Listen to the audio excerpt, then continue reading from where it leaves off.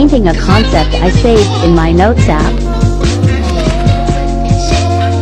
But this just might be better for us, you know?